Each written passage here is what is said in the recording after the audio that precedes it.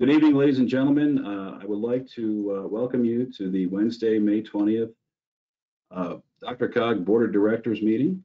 Um, I have called to order the meeting here at 6:31. Um, The next item is roll call and introduction of new members and alternates. Um, Mrs. Stevens, please. Thank you, Mr. Chair. Okay, and at this time, I'm going to unmute all members and alternates. Please make sure that you are unmuted on your end and um, that you have a little green microphone indicating that you can speak. And if everyone can mute their background noise. Okay, here we go. Eva Henry. Jeff Baker. Here. Elise Jones. William Lindstedt. Here. Randy Wheelock. Nicholas Williams. Here. Kevin Flynn. Here. Roger Partridge. Here. Ron Engels. Libby Szabo. Bob Fifer. Mike Kaufman. Here. Larry Vidham. David Spellman. Aaron Brockett. Present. Margot Ramson. Here. Adam Cushing. Present. Roger Hudson. Here. George Teal. Tammy Mauer. Mike Sutherland. Jeremy Fay. Randy Wheel. Richard Champion. Nicole Frank. Present. Jackie Thomas. Catherine Whitman. Here. Steve Conklin. Linda Olson, Here. Bill Gipp. Linda Montoya. Celeste Arner. Drew Peterson. Bobby Sindelar. Lisa Jones. Laura Brown. Lynette Kelsey. Here. Rachel Binkley. Present. Jim Dale. Here. George Lance. Dave Kerber. Mike Hillman. Stephanie Walton. Tim Barnes. Jacob LeBure. Isaac Levy. Karina Elrod. Pamela Grove. Larry Strock. Present. Win Shaw. Here. Joan Peck. Here. Ashley Stolzman. Here. Connie Sullivan. Barney Drysdat. Joyce Palzewski. Pauline Whitlow. I'm here, present. Thank you. Paul Sutton. Sean Foray. Chris Larson. Julie Duran Melica. Joyce Downing. Sally Daigle. Steve Black. Sandy Hammerly. Here. Jessica Sandgren. Here. Herb Atchison. Here. Bud Starker. Adam Zarin. Rebecca White. And Bill, oh, there you go, Bill Van Meter. Here. All right, thank you. And with that, Mr. Chair, we do have a Stark, quorum. did You get me? I may have been muted. Oh, there you go. Yes, thank you, Bud. So uh, this is Matt Jones, uh, subbing for Elise Jones tonight for Boulder County Commissioner. And this is Eva Henry, Adams County Commissioner. I'm here. Karina Appreciate Alva that. from Littleton as well. Thank you so much. Tammy Anyone else? Mauer with Centennial.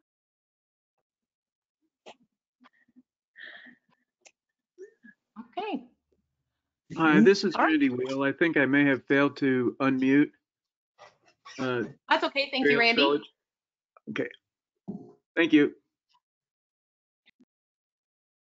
All right, uh, thank you everyone for that. I, I appreciate it. Um, the next item is, uh, approval of the agenda. I would, I would need a motion to approve the agenda, please. Ms. Stevens, do we have a hand? Uh, we do. It looks like we have one from uh, Herb Atchison. Herb, go ahead. Recommend approval of the agenda. Second. Right, uh, we have approval and a second. All right, here we go, people. All in favor, say aye. Aye. Aye. Aye. Aye. Aye. Aye. Aye. Aye. Against? Abstain? Motion carries. The, we have an agenda.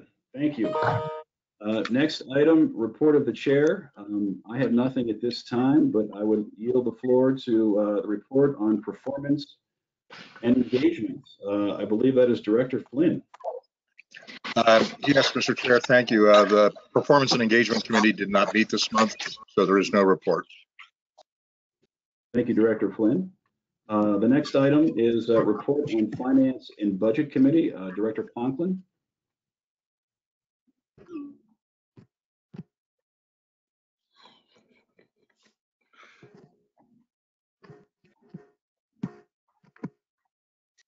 Okay, Director Conklin, you should be able to speak. Sorry about that.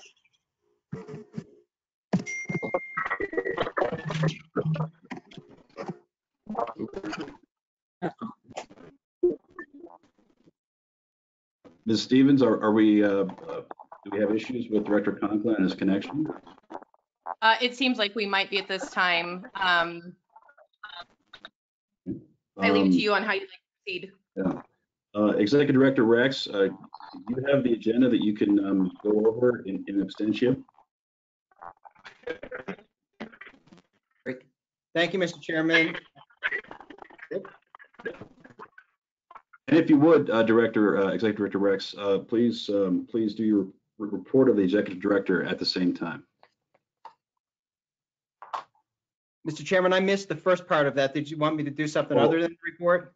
Yeah, yeah. Um, uh, we're, we're having some difficulties with Director Conklin's report out of um, Finance and Budget Committee. So if, if you can speak to that, or if, Sure. um, if there's somebody else, um, uh, staff-wise that can speak to it, please, uh, please feel free to. No, happy to do it, sir. Um, Appreciate it. so Finance and Budget Committee this evening, um, approved four action items, uh, three of which were, are related to COVID. Um, the first was a resolution authorizing the executive director to enter into a contract with, uh, Transit Plus, which is providing, um, uh, uh, consulting services for our Ride Alliance, uh, program. The, uh, second item was a resolution authorizing the executive director to approve um, funding distribution plan and execute contracts to receive uh, um, COVID-19, the federal emergency monies uh, in a, uh, of approximately $6.7 million. And I'll talk about a little bit of that in my executive director's report. Um, We had a, another resolution authorizing the executive director to extend current AAA provider contracts for two months and allocate additional federal funding in the amount of approximately 1.8 million to continue services through August 31st. And last but not least, we had a resolution authorizing the executive director to accept federal funds of up to 220,000 um, to support the COVID-19 pandemic response to ADRC uh, for a period from May 1st, 2020 through April 31st, 2021.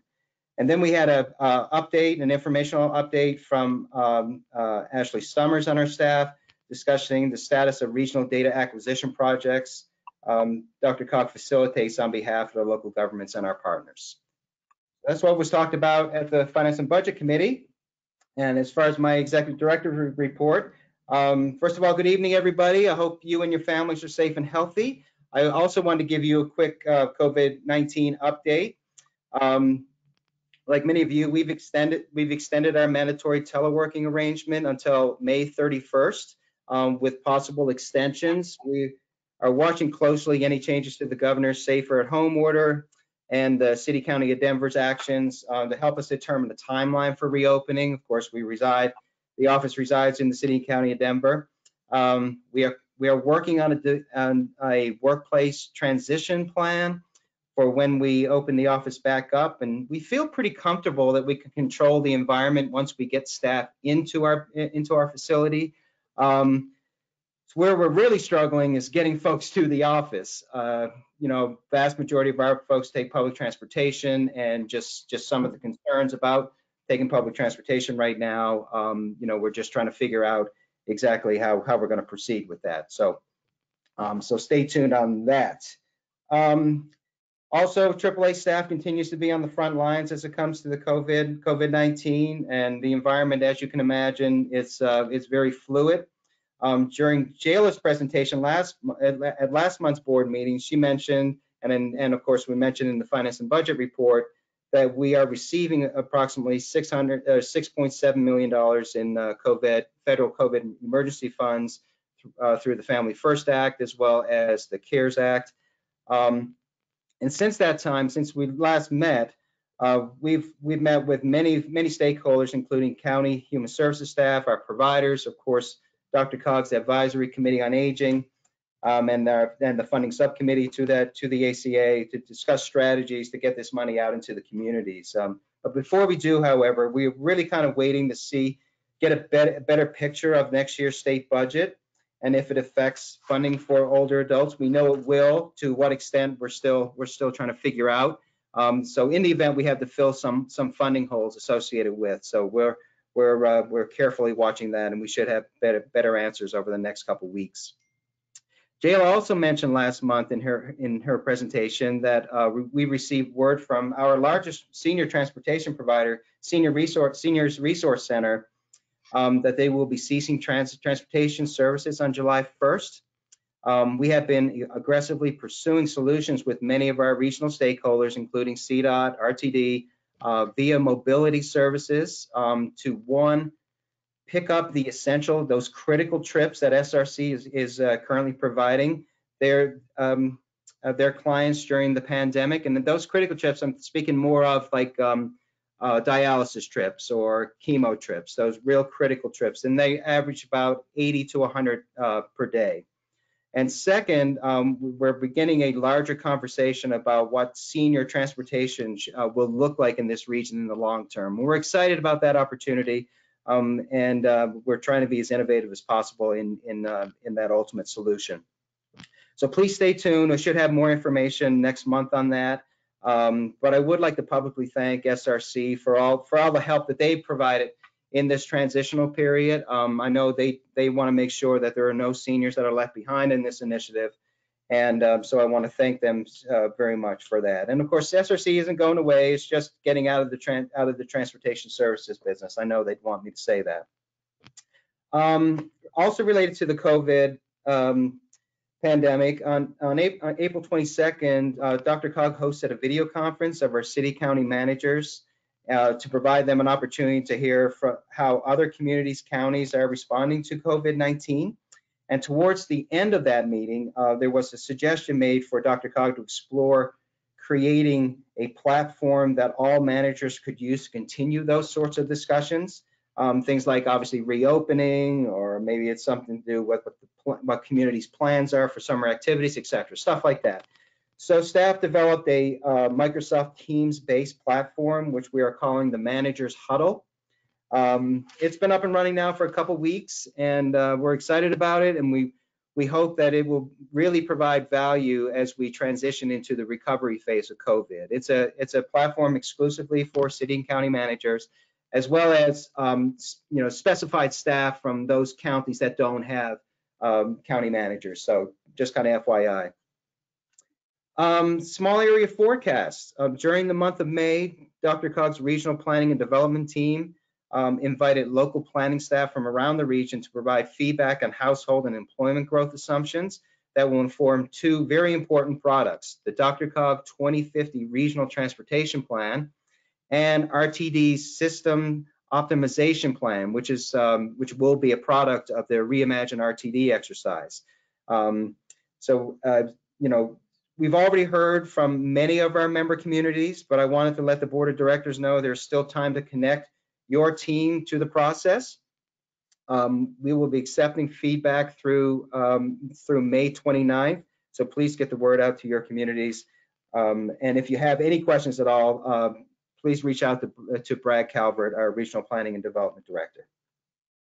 Um, I would like to just draw your attention to the 2019 Public Engagement Report, which is included in the information items section of your agenda packet. It's item 14, attachment K, and I and give a special shout out to Lisa Hood, um, our Public Engagement Specialist. Um, the report highlights dozens of events and approaches we took uh, to get input on plans like MetroVision Regional Transportation Plan and the Regional Vision Zero Plan and, and, and a bunch of other activities. Um, we've established both a regional advisor, or sorry, a youth advisory panel and a civic advisory group to hear from groups that are often hard to reach. Um, we are much more intentional about reaching out to underrepresented communities and um, such as our Spanish speaking um, uh, folks as well. So please, when you get an opportunity, take a few minutes and read through that report. Last but not least, certainly not least, um, as, as uh, we communicated to you a few weeks ago, um, we lost a valued member of the DRCOG family. On April 30th, Connie Garcia lost her battle with cancer.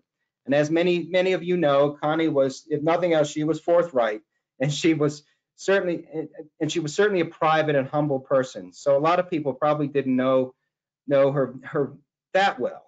Um, but one of the things few of us and knew, knew her knew her really well was that she was, you know, really how generous she was. Um, as many of you know, I know we talk about it every year. Um, DRCOG employees, um, we kind of adopt the Sparely Center, which is a long-term care facility over the holiday season. Um, and it's a completely volunteer voluntary exercise. And most most staff, they grab a couple names and associated wish list. Well, Connie could always be counted on not only to organize the event, but also, um, you know, she would adopt it and shop with um, with them with you know, for quite frankly the most residents. She would always had a handful of those names, and she would do that all herself. Um, and I know she, if she were sitting here today, she would be embarrassed. Be embarrassed. I was even telling you that story, but I wanted you all to know how generous she truly was. Well, then, and this takes us now to uh, the resolution you have in front of you this evening that we have put together honoring Connery, Connie's time here at DRCOG. And with the chair's permission, I would like to read the resolution into the record. Please. Thank you, sir, very much. A resolution honoring the memory of Constance Ann Garcia and expressing appreciation for her distinguished and dedicated service to the Denver Regional Council of Governments. Whereas Constance Connie and Garcia passed away on April 30th, 2020, and whereas Connie Garcia had been a valued and respected staff member of the Denver Regional Council of Governments since 1995, and whereas over 25 years, Connie Garcia exhibited an exceptional level of performance and effort in many key roles at DRCOG. And whereas Connie Garcia had a reputation for her extensive knowledge of the organization, its board of directors, and the communities it serves, and was gifted with forthrightness and utmost integrity, and leveraged this to the benefit of DRCOG and ultimately to the people of the region. And whereas, over her career, she supported multiple executive directors and countless board members, and was a valued and generous member of the DRCOG family. And now, there, there be it resolved that the Denver Regional Council of Governments honors the memory of and expresses gratitude and appreciation for Constance Ann Garcia for her dedicated and distinguished service to the DRCOG Board of Directors and staff. Be it further resolved that the Denver that the DRCOG Board of Directors and staff extend their condolences to the family and friends of Connie Garcia. Resolved, passed, adopted this day, Denver, Colorado.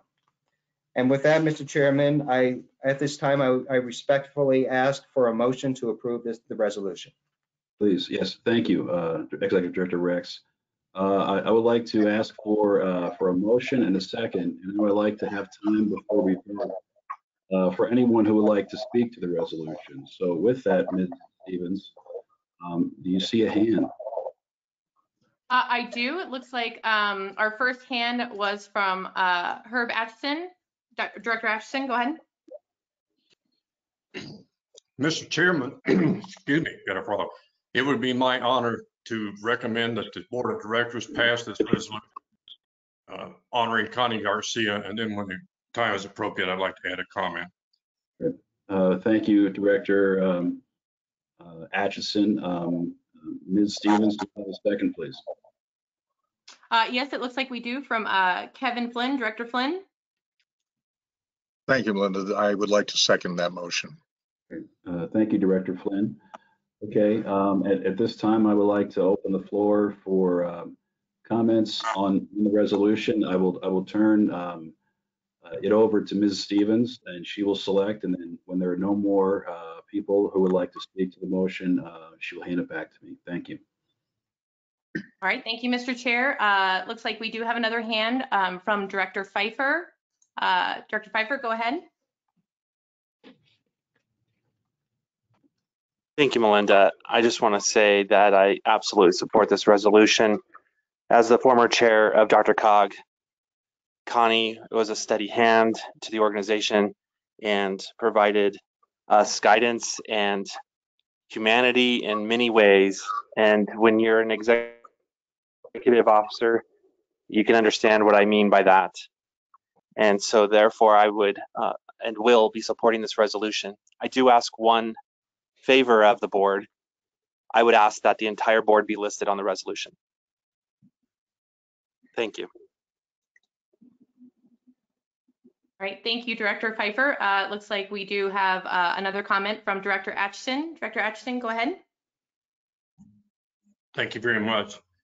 As Mr. Fifer said, if you've been through the chair's position, we've learned a long time ago who actually runs the DRCOG. And Doug Rex, no disparaging to your position, but we know that Connie Garcia has run this organization and kept all the executive directors in line and made sure they toed the mark for many, many years. It was my pleasure to have known Connie, uh, not only on a business basis, but a personal basis. And I uh, recently had a conversation with Roxy Ronson, a very dear friend of hers and former employee. And as you said, Connie kept this issue very quiet and very private. Uh, as many of us tried to reach out to her in the last few months, we could not get her to return calls because she did not want this to be made public. But you could not find a more dedicated and committed individual to the job of the executive director's uh, right-hand person that DRCOG and Connie Garcia was. And one thing you could always depend upon Connie, if you needed a parking slip, she always had one for you. Thank you, Mr. Chair. All right, thank you, Director Atchison. And with that, uh, Mr. Chair, it looks like we do not have any other uh, comments or questions.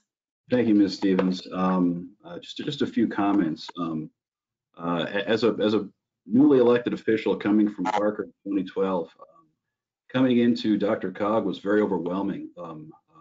A lot of, uh, a lot of information was needed to, to do my job. And uh, the first person you, you you met was uh, Connie Garcia. And quite honestly, she scared the heck out of me. Um, she was uh, she was strong. She knew everything about DRCOG, um, and she uh, she didn't hesitate to uh, to share. Um, when I was tapped by the godfather of DRCOG at the time, Director Ron Rakowsky, uh, to consider uh, being a part of this executive team, um, I talked to um, Connie, and I asked her. I go, "Uh, Connie, I don't think I'm I'm that person. And um, she gave me words of support. Uh, yes, you are. And, and from that point forward, she, um, um, she met with me. Um, she talked over issues and she was a, a just a, a great resource for me.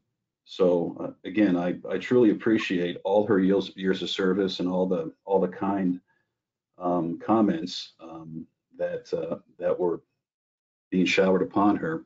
And um, just God bless you, Connie Garcia.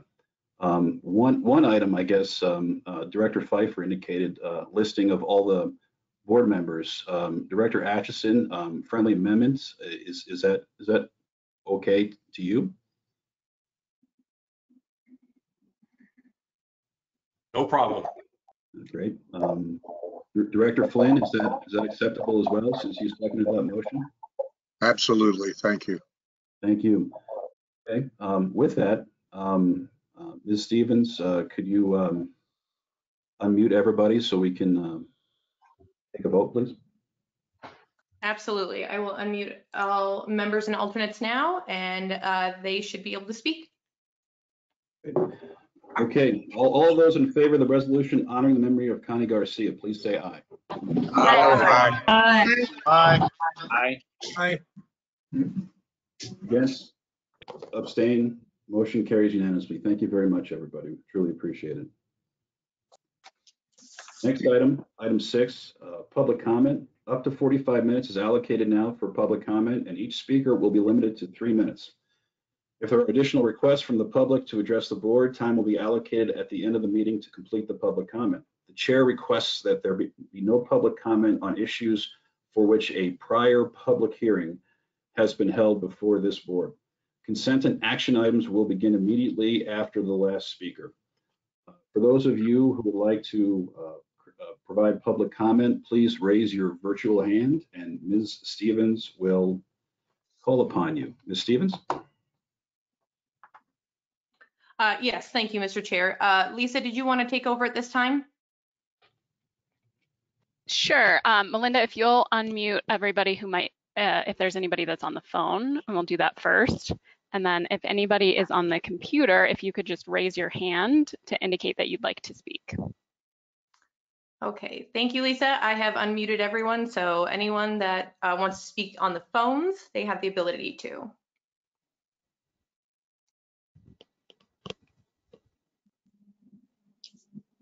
All right, so we're not hearing anybody on the phones, but I will call out the names who have raised their hand to speak. So our first speaker is Maureen McCanna. Thank you, Melinda. Thank you, Mr. Chair. Just confirming you can hear me. Yes.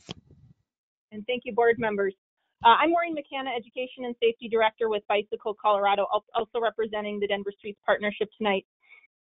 As we've expressed both to the TAC and the RTC, we are thrilled to see DRCOG stepping up to provide a toolkit to support local governments in the region to eliminate traffic fatalities. I'm sure you're very familiar at this point with the unwavering fundamental principles of Vision Zero, as well as our position on the plan as advocates.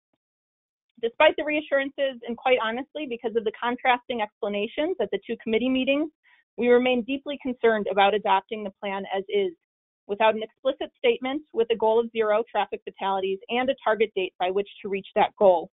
Having read the plan several times, we see implied references to a goal of zero in places like page nine, which reads achieving the goal of Vision Zero involves everyone, but no unequivocal and concrete statement setting a goal for the region. Bicycle Colorado, the Denver Streets Partnership, and our supporters are working hard to ensure a day where zero traffic fatalities is our reality because we've seen firsthand the impact of lost loved ones on friends and families. We've spoken to individuals who have lost loved ones in preventable traffic crashes, and we've experienced loss ourselves. It is beyond devastating. The thought of telling grieving family members and a traffic sa- that a traffic safety plan our organization should support is void of a clear goal of eliminating all traffic fatalities within a specified period of time is for us completely unconscionable. It should be for DRCOG too. Now is not the time for conversations about procedure to overrule the morality of declaring zero as the benchmark for the Denver region. Nor is it the time to make promises DRCOG cannot guarantee it can keep. The people who live and work here deserve better. They deserve a Vision Zero plan that accepts nothing more than zero traffic fatalities. This moment requires a clear statement from a respected body such as DRCOG. For full transparency on the part of DRCOG and to avoid any continued confusion, we ask again that the plan be amended to state an explicit goal of zero traffic fatalities with a target date. If these measures won't be updated until Metro Vision 2050, the official current goal of fewer than 100 fatalities should be represented explicitly in the plan, and any discomfort with this proposal is a suggestion that DRCOG should be updating their target now.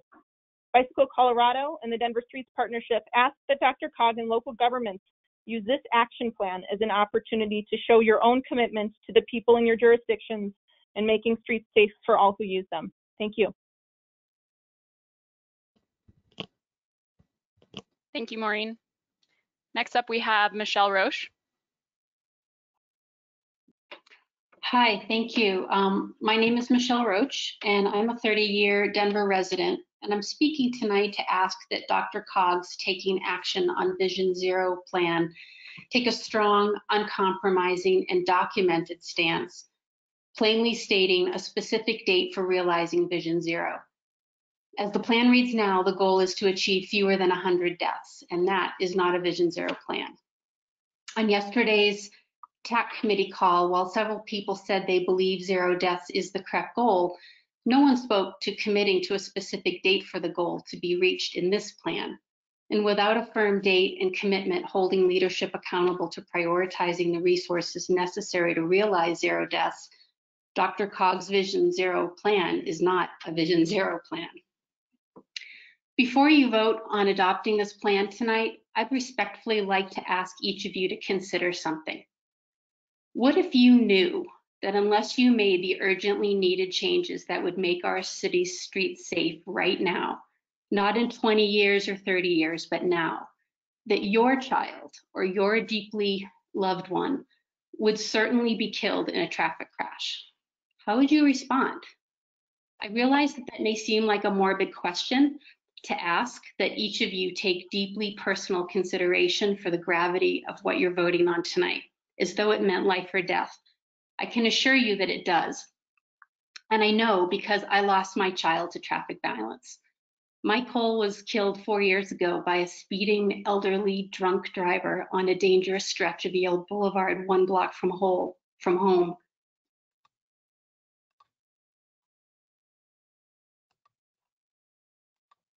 His braces off. He was simply standing on the corner trying to get across the playground or across the street to the playground. But just about every crack in our broken system conspired that day to take his life.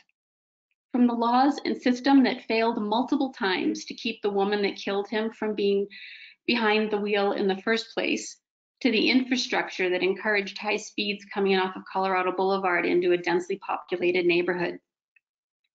The system failed miserably, and had a true Vision Zero plan already been in place, Cole might be alive today He'd be entering his senior year of high school and just turning 18.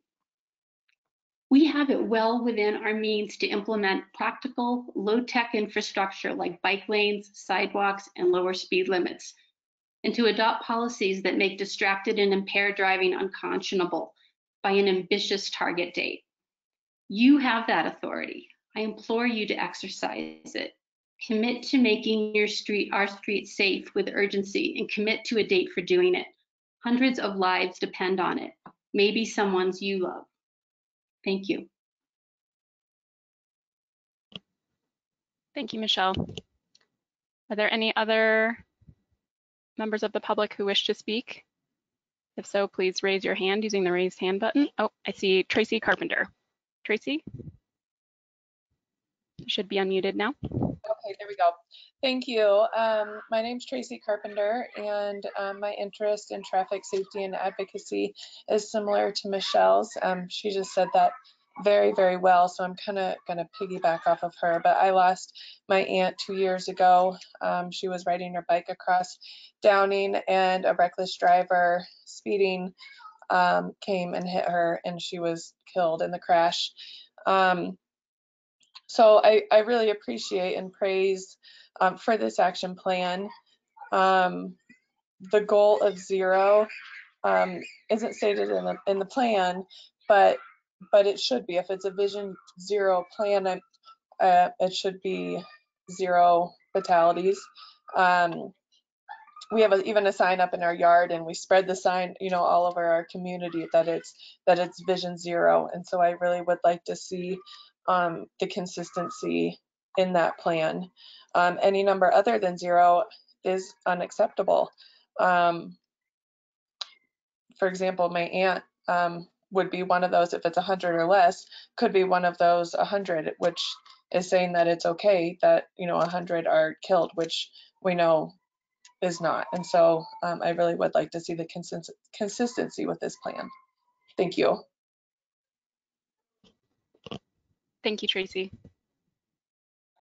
Is there anybody else? that would like to speak?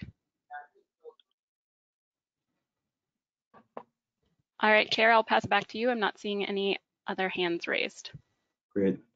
Thank you very much. Um, I would like to close public comment at 7:06 PM. Um, On to the next part of the agenda, the consent agenda. Item seven, uh, I would like, uh, I would need a motion to approve the consent agenda. If, as always, uh, you would like to pull an item from the consent agenda, please feel free to raise your hand now. Mrs. Stevens, are we, uh, do we have any hands raised? Uh, it does actually look like we have a hand raised from uh, Tammy Maurer. Let me go ahead. Uh, it doesn't look like she has the ability to speak though. Um, oh, Tammy, are you there? Yeah, I'm using my phone. There you go. Um, Yeah, I move to approve the consent agenda.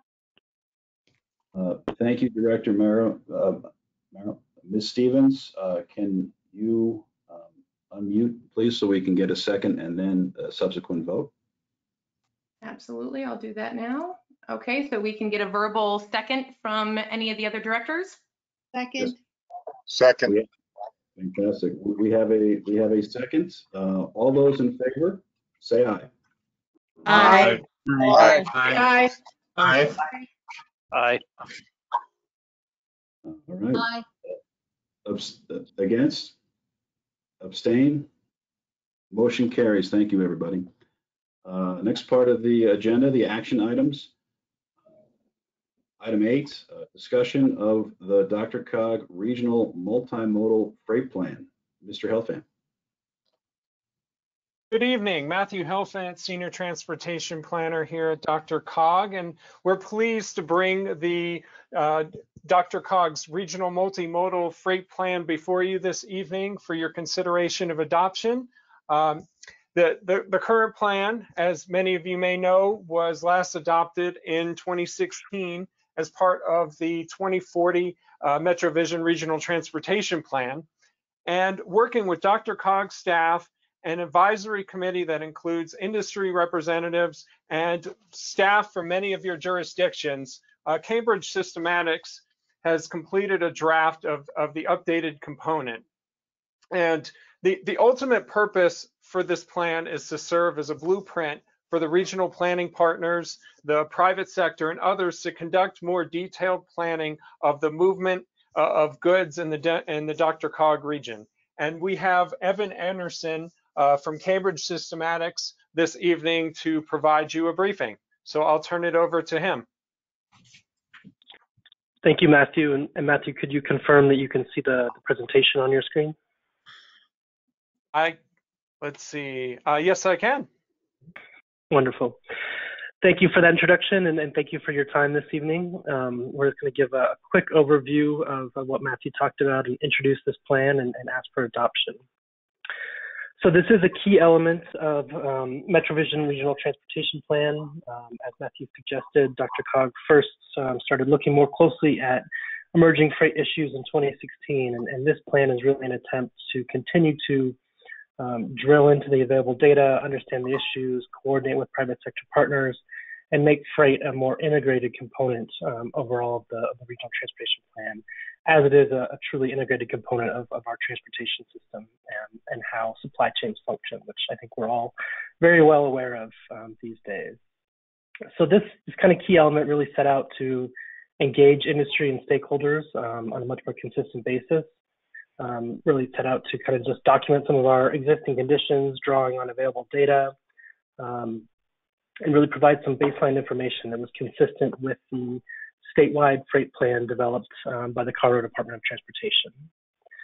Um, some of the, the key outcomes of the plan overall was really developing that inventory of, of current needs, looking at um, problem areas, solutions, potential investment areas related to safety and trends and conditions, connectivity, and freight mobility, um, it also identifies a, a regional um, priority network, similar to some of our other key elements of the regional transportation plan, and does identify kind of future freight focus areas that would be um, ideal for local study and coordination, um, and maybe well deserving of um, independent study to understand how freight is influencing different parts of our region altogether. So again, we really had um, great uh, partner engagement throughout this. Um, the advisory committee, again, was uh, many of your um, staff and local jurisdictions from across the region, as well as some key partners from the Colorado Motor Carriers Association um, and BNSF Railways were, were, also key components here. We did hold freight forums specifically for um, business needs where we um, drew on maps and identified needs worked with those those industry partners and business partners to conduct overall surveys um, and provide a kind of online map for specific comments. And we got a whole host of very specific um, local issues, um, great comments, and you can kind of see some of the overall um, concerns down there in the corner on safety, sustainability, maintenance, and expansion, uh, ranked from most important to least important. Our advisory committee was, was fully engaged. We met on a, a monthly basis throughout this effort, and they really tasked us to um, really describe um, the connections between freight and the regional economy, uh, some of the key industry clusters that make Denver competitive, um, really looking at some of our existing assets, including um, the Aerotropolis, the spaceport, I think um, first and last mile and parcel delivery issues, particularly in downtown cores and, and suburban areas. Are very, very critical and, and very um, highly visible issue that we're seeing now. Lots of interest in um, developing future distribution and logistics activity centers, um, really coordinating that with, with rail investments and air investments, both within the region and those that are serving um, demand and markets um, outside of the region. And then uh, really trying to um, get down to, you know, what potential improvements can DRCOG and our regional partners uh, make in the coming years to really um, address key issues um, and help enable the freight system to work um, safely, efficiently. Um, they're also really interested in kind of how do we tell the story of freight. Um, it's, it's, very, again, visible, but it has a significant economic impact overall in the region. And there's lots going on in the freight sector. Um, technology adaptation, looking at the next generation of, of drones and, and robots and automated delivery systems, kind of cutting edge and emerging things there. Uh, lots of different policies happening for parcel delivery, um, how we can kind of manage and uh, manage our curbside assets, uh, reduce demand and trips associated with e-commerce and, and, parcel delivery. And then really um, addressing freight issues does require um, integrated planning at all levels, um, addressing land use, and really continuing the, the great record of private and public sector collaboration um, through DRCOG's planning efforts. Overall, the, the report is, is relatively simple and accessible, and these are some of the kind of key chapters. I'm just going to walk through some of the, the key components there. But we do de detail out everything that we heard from our engagement efforts, efforts um, through the public and through our, our, industry and business partners. Again, safety, um, truck parking is, is, a critical need, especially with new federal re regulations, but also significant interest in improving the safety of railroad crossings, of which there are a significant number um, across the region. And then understanding how trucks interact with other travelers, particularly pedestrian bicyclists, and again, downtown cores and other areas um, will become increasingly important. Lots of interest on, again, future development opportunities, um, some of the investments that we can make to, to really make the region competitive. Um, again, looking how we can advance private sector efforts um, to improve the sustainability um, of, of the overall industry, most of those efforts are being uh, led by industry right now, but there's a lot of potential right there. Again, lots of interest in technology and delivery issues. Um, curb management in particular is, kind of a critical effort. Um, and then that coordination angle was increasingly important to, to many of our business partners as well. They are just as interested in, in learning what um, investments and improvements are planned um, as we are learning um, about their data and, and needs um, related to the freight system. Uh, second chapter really kind of does try to tell the story of, of freight and economy, um, looking at those uh, number of direct jobs that are uh, tied to transportation, trade, and logistics, um, as well as a significant portion, over a half a million um, jobs in industries that depend um, on kind of day-to-day core business activities of, of moving goods from, from one place to another, which is um, anywhere from a, a third to a quarter of the entire regional economy. Um, Denver really is the, the distribution center for not just Colorado, but the entire, mount, uh, entire Mountain West, particularly on petroleum and, and, motor vehicle products. um, with significant um, rail and intermodal facilities directly within DRCOG's region. A lot of the value of products are moving there. The majority of uh, products um, by value and tonnage do move by truck, um, but railroad and air freight are very, very critical to uh, moving high value, uh, low weight goods throughout the region. As we suggested earlier, the advisory committee was very interested in kind of defining an, an aspirational um, freight vision network. And, and so this was a, a, look at how different components of, of, existing systems fit together to help serve freight needs. And in reality, every single alley and, and driveway and, and, streets and highway and interstate um, serve the freight network and, carry goods to businesses and, homes. Um, and this way, we took kind of a look at, at priority tiers, looking at the already identified National Highway Freight Network, um, which has an official designation under the FAST Act and, and, is eligible for different grants and funding. Looking at the National Highway System, which includes a lot of the, the key arterials and state highways, um, and really does carry a significant portion of truck traffic um, across the country and throughout the region. And then there are also a number of really critical um, intermodal um, and local connectors that um, the businesses, freight carriers, and shippers um, use to access key intermodal hubs um, throughout the region, to bypass congested spots, to access kind of major distribution centers. And so we've also identified those in concert with business partners and the advisory committee. A significant portion of the plan really does detail um, many of the regional local best practices that are out there across the country. Um, again, freight planning at the local and regional and city level is, is still an emerging issue. Um, but there's a, a, great examples from the, from the city of Seattle, from Tampa, from others, to really help understand how freight can work with other street uses um, in our cities, how we can again kind of manage our curb space and our assets, um, and then also things like the North Metropolitan Industrial Area Connectivity Study, which is a joint effort of, of jurisdictions across the region, really helped identify very specific um, local improvements that were needed. Um, again, realizing that freight is a regional but also very much a local issue. The plan does identify a number of um, key overarching strategies. Number one is the need to continue DRCOG's efforts to really develop um, a comprehensive and continual um, freight planning and goods movement plans overall. This could be a entirely significant effort within itself. Um, and again, this was a, an iteration and a blueprint for continuing Dr. DRCOG's efforts. Um, the plan really does encourage local area and site-specific freight plans, um, provide some recommendations for how to integrate thinking about freight and goods movements into all the planning and design that we do do, including um, Vision Zero plans and how we can enhance safety for all travelers there. Um, and then again, kind of looks at that coordination um, angle with, with land use and developments, um, as well as the need to kind of preserve our regional freight infrastructure. Um, Denver does have a number of industrial hubs, um, short line railroads, and others that can be repurposed for entirely different future mobility needs or to serve um, future freight technology.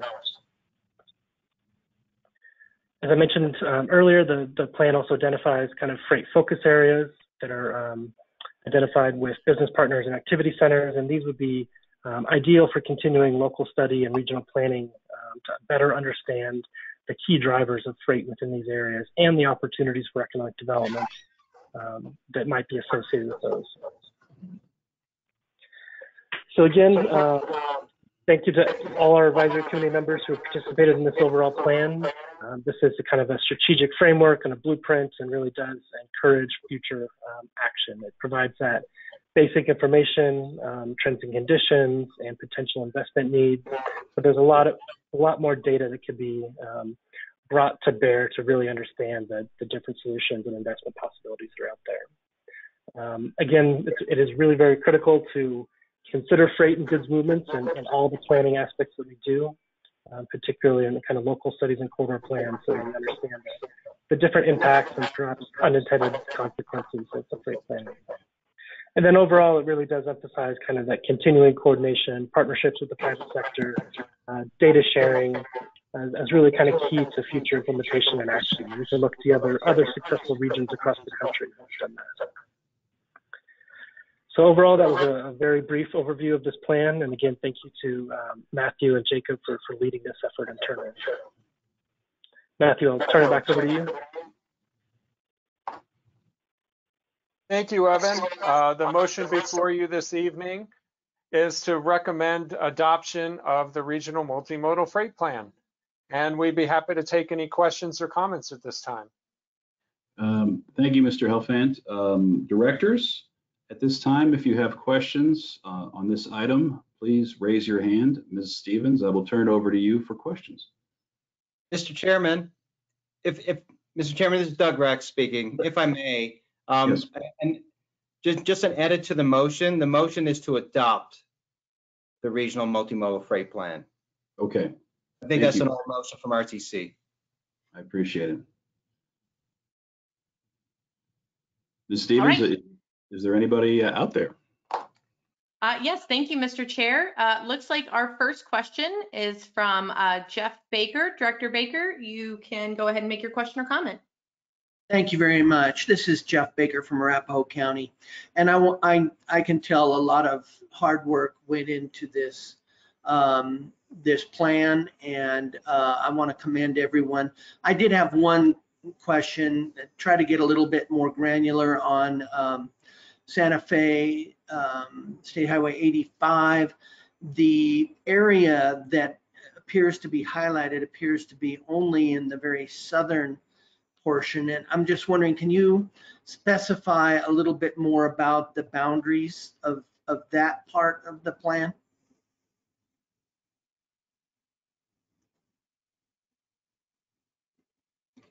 Evan, did you want to take this first?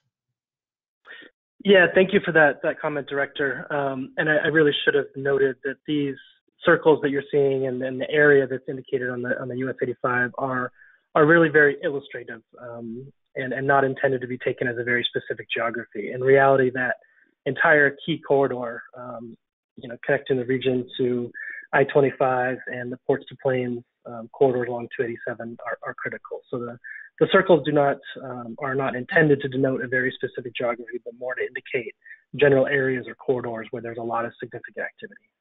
All right, thank you very much. I just wanted to stress that when the large fire happened on I-25, the amount of traffic, uh, freight traffic and passenger traffic that uh, increased on Santa Fe was so large, I really think that that demonstrated the need to consider um, that um, avenue, that corridor from uh, as far south to as far north as it goes. It should be uh, uh, considered a critical freight corridor. Thank you. All right, And I'll thank you just, so. I'll just, oh, Go ahead, Matthew. I'll just, I'll, I'll just note um, that uh, obviously these are circles and they're not, you know, they're all perfect circles, so they're not showing every single little detail, but uh, the, the, these circles represent recommendations for, for additional uh, study. All right, thank you, Matthew. Uh, Did that answer everything in its entirety, Director Baker? Yes, thank you very much. All right, thank you so much. All right, it looks like um, our next question or comment is from uh, Roger Partridge. Uh, Roger, or Director Partridge, you can unmute yourself and speak. Thank you. So great presentation, and I agree with Commissioner Baker. You know, some a lot of work and detail went into this, and, and very important for our freight industry, no doubt. I'd like to make comment on Highway 85 being a tier two. We really believe the importance of Highway 85, and I'm looking at what is in you know Arapahoe County and mostly Douglas County. When you look at the amount of traffic of, of freight traffic that is on E4, excuse me, C470 and I-25, Highway 85 feeds both of those. In fact, they're, they're alternate route when you look at I-25 especially. A special note is too, Highway 85 in Douglas County is a high industrial area and it is a, no doubt there's a lot of, um, no, and it's not necessarily piggyback, but a lot of auto industry drop off along that. So there's major, you know, truck traffic, and you have a major aerospace in industry of Lockheed Martin that accesses Highway 85. So I would really like to see Highway 85 move to a tier one and uh, would just like to have some explanation, you know, to that and uh, discussion a little bit of that with Matthew. Sure. Uh, thank you, uh, Commissioner Partridge. Um, I'll start and then Evan could probably add a little bit, but um, perhaps it's slightly misleading that uh, we have, we, we label each as a different tier. It, it's not meant to, to say that um, the, the tier two or the tier three are less important than the tier one. It was more to distinguish the different networks that are in the system. And the National Highway Freight Network is uh, defined uh, by the by the federal government. And so we wanted to have that as as as the first layer, uh, just just for a um, illustrative purposes. And so it, it um, every every single corridor that that we highlight here is incredibly important to the region. And I'll I'll let um, Evan uh, uh, expand upon that. Thank you, Matthew. I think that does kind of clarify that, that these are kind of layers that, that are intended to, again, to work together um, to really provide that, that seamless overall system. Um, you know, and one of the things that we ended up kind of looking at how we, how these existing designations and layers fit together um, was also kind of a result of the absence of really having a, an in-depth understanding of um, truck movements, you know, both in and, and out the region on every single um, road. You know, we, we really look to, um, you know, traffic and truck counts on the state highway system are reasonably good. On many other systems, um, they really are not great. And so we really don't know necessarily how much activity is going on around that Lockheed uh, Martin facility. And, and, so it doesn't pop, so to speak, in our, in our data.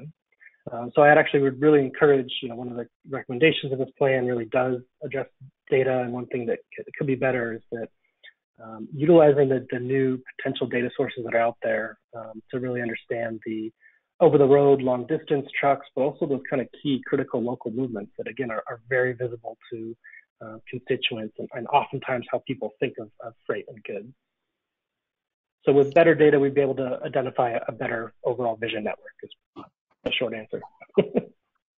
uh, okay, very good. Uh, Matthew, you mentioned that it's, you know, per federal guidelines, but Matthew, you're you're an inf influential guy. Can't you just call the feds up and fix it? well, I'd have to lobby Congress to do that, uh, but um, and I'll give it a try. Okay. All right, we back you on that, big guy. Thank you. All right, thanks. All right, thank you, Director Partridge. Uh, looks like our next question or comment is from uh, Tammy Maurer. So Director Maurer.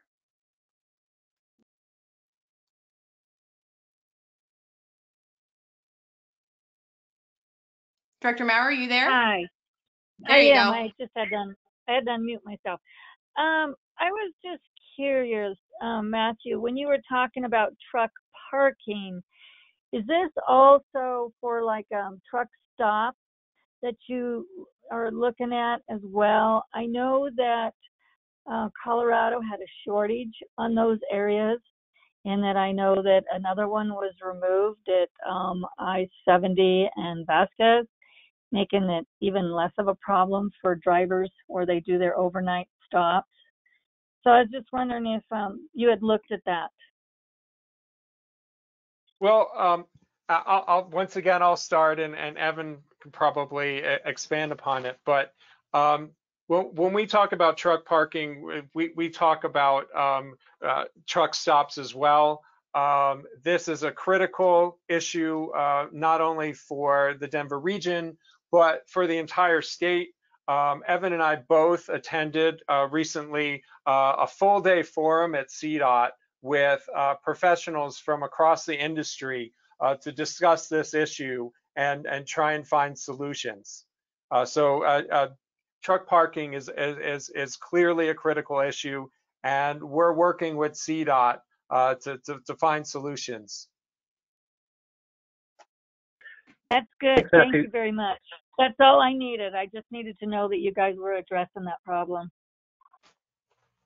So, and this is Evan, just just to piggyback on that. So, so yes, very much an emphasis on that kind of um, you know highway truck stops and and key rest areas where drivers need to take mandatory you know eight hours or overnight breaks. Um, one of the things we don't under, understand necessarily, and again, oftentimes this points to data, is the the need for truck parking around some of the major distribution centers on off streets, oftentimes even residential neighborhoods, as they're um, backing up or queuing to get into um, uh, Suncor or um, Miller Coors or a number of kind of major distribution centers. Um, that is a, a kind of a, a local problem that, that you may very well hear, and again, one that isn't necessarily understood um, or that isn't necessarily being addressed um, by many of CDOT's efforts or, or FHWA's efforts. And again, an opportunity for local coordination um, to better understand those those very small micro issues. Thank you very much. All right, thank you, Evan and Matthew, and thank you, Director Maurer. Uh, And at this time, I'm not seeing uh, any other hands raised, so I will turn it back to our chair. Thank you, Ms. Stevens. Um, So with, with all the questions being, being addressed, uh, I am open to entertain a motion. Um, Ms. Stevens, please let me know if there is a hand raised to entertain a motion. Thank you, Mr. Chair. It looks like we do from Director Atchison. Go ahead. Mr. Chair, I move to approve the adoption of the DRCOG Regional Multimodal Freight Plan. Thank you, Director Atchison. Uh, At this time, Ms. Stevens, uh, can you open the, uh, unmute the, uh, the line so we can get a second and a subsequent vote? This is Elise, second. Great. Thank you, thank you, Director Jones. Uh, We have a second. Uh, All in favor, say aye. Aye. Aye. Aye. Aye. Aye. Against? Abstain? Motion carries. Thank you, everybody. Uh, The next item on the action item part of the agenda, item nine, discussion of taking action on the Regional Vision Zero Plan. Ms. Doliboa.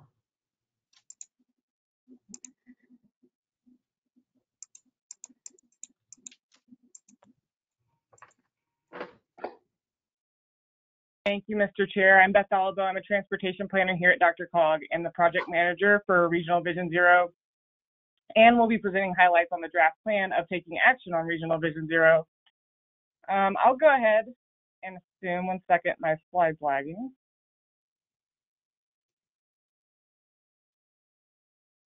Yeah. I'm going to go ahead and assume that most present today are familiar with the concept of Vision Zero but just as a quick reminder, um, Vision Zero is the transportation safety philosophy based on the principle that the loss of life is not an acceptable price to pay for m- mobility. It reframes traffic deaths as preventable. It integrates human error. It focuses on preventing fatal and severe crashes. It aims to establish safe systems. It applies data driven decision making and establishes road safety as a social equity issue. To give some background on why the Denver region, region needs Vision Zero, in 2017, 266 people were killed in the Denver region streets and highways, and that is a 50% increase region-wide since 2013. And if you look at the percent of crashes by travel mode versus the percent of fatal crashes by travel mode, you will see the large percent of fatal crashes involve people walking, biking, and on motorcycles, showing that we need to make a point to focus on these vulnerable users as we implement regional safety initiatives. This map here is included in the plan and illustrates KSI crashes from the years 2013 to 2017, which is the five years of data that was used for the analysis included in this plan. 1,149 people died, 8,827 people were seriously injured, injured during that time in the Denver region. That's almost 10,000 people that were affected by these types of crashes in this five year period of time. There has been extensive conversation on what Dr. Target, DRCOG's target is and should be. We would like to reiterate that Dr. Cog is committed to a target of zero. Every life matters and no fatality is acceptable. Um, this is clearly stated in the Regional Vision Zero video we released at the beginning of plan development. Um, the link to that video is also included in the plan. And the main purpose of this plan is to identify strategies the region needs to take to work towards reaching Vision Zero. Um, I wanted to thank the members of the public who came and shared their stories tonight. These fatalities are heartbreaking and preventable, And these stories really put in perspective the seriousness and importance of Vision Zero. So again, want to reiterate, our regional target is zero.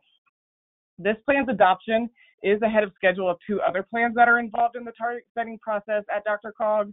These two other plans involved are MetroVision, which includes DRCOG's overarching themes, outcomes, and performance measures. This slide shows the current 2040 targets that were established.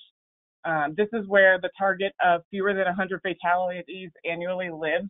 Please keep in mind that this 2040, target was set years before Vision Zero was being initiated. Um, we also have the 2050 MetroVision Regional Transportation Plan, also known as the MVRTP. Um, as you hopefully know, DRCOG staff is currently working on the 2050 MVRTP. As part of the 2050 MVRTP, DRCOG will be updating and reassessing these 2040 targets to 2050 targets, and that is when we plan to include the target of zero. These targets must be approved by this board, and once it is, we plan on amending taking action on Regional Vision Zero to include these new adopted safety targets. Um, there is extensive public outreach done for this plan. Um, as I mentioned, we kicked off the project with the Regional Vision Zero video, um, a short survey, and an interactive map that allowed the public to select locations where safety issues throughout uh, with safety issues throughout the region. Um, we received 3,300 survey responses and over a thousand interactive map comments. Um, this map is also included in the plan. It shows how the interactive map locations overlap with the data-driven regional high injury network. Um, as you can see from this map, the data-driven areas were pretty consistent with the locations the public identified.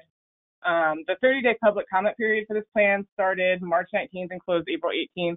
DRCOG received over 200 comments from stakeholders and the public. Um, the comments are included in the JIT packet, packet with our responses. Um, I did want to thank all of our stakeholders who took the time to review the plan and, and submit comments. Um, we responded to the comments and included suggested changes in the plan um, where appropriate.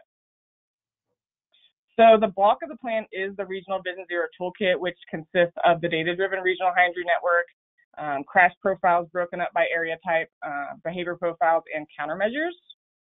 Start first with the um, regional injury network. Um, it was developed by identifying roadway segments with the highest KSI crash density, KSI meaning killed and serious injury clashes. Um, please disregard the area squares on this map. They're simply showing what inset maps are included in the plan. There's also an interactive map link to go along with this map that include that's included in the plan that has associated layers such as vulnerable population groups, um, regionally significant active transportation and transit layers, and we're hoping this will help assist local jurisdiction in identifying where the regional injury network overlaps with these important areas. Um, since the regional network ended up being so large, staff decided to do a more detailed analysis and identify critical corridors along the regional high injury network. Um, to identify these corridors, each of the 10 counties within DRCOG were analyzed separately to ensure the critical corridors were dispersed regionally. For each county, the critical corridors identify the top 50% of KSI crash density corridors along the regional high injury network. And again, that was done by county. So once we identified where these crashes were occurring, we wanted to further further analyze those crashes and figure out more details on possible contributing factors of those crashes, figure out some of the mechanics and behaviors involved, and start moving towards certain countermeasures that the region would want to apply to reduce KSI crashes. On a regional scale, we know the region is very diverse from a land use perspective. Crashes in rural areas are very different from what's going on in crashes in downtown Denver. So one of the first things we did was develop four different area types, urban, um, suburban, compact communities, rural, and limited access highways. Um, and we did this using a variety of data sources to reflect the different built environments throughout the region. We identified three things within each area type. First being the crash profiles, which looked into specific events and types of crashes that are occurring. These inform the infrastructure countermeasures that are identified in the plan. Um, second, the behavior profiles, which are the human behaviors that led to the crashes happening. Um, one interesting thing we discovered is that the crash profiles are different for each area type in terms of what's causing the crashes, but behavior profiles are, for the most part, consistent um, in all the area types. So um, that was just something interesting that we learned going through this process. Um, and then lastly, we wanted to identify countermeasures, which are strategies that are recognized as best practices for addressing and reducing identified crash types. Um, taking action. This portion of the plan identifies objectives and action initiatives that we as a region need to work towards. Um, there are six main objectives in the plan. Those are improve, improve collaboration between allied agencies, increase awareness and adoption of Vision Zero, design and retrofit roadways to prioritize people's safety, improve data collection and reporting, increase funding and resources, and increase legislative support. This is an example of objective one, improve collaboration between allied agencies. Um, this objective has two main action initiatives. Those action initiatives have sub-actions to better identify tasks within the action initiatives.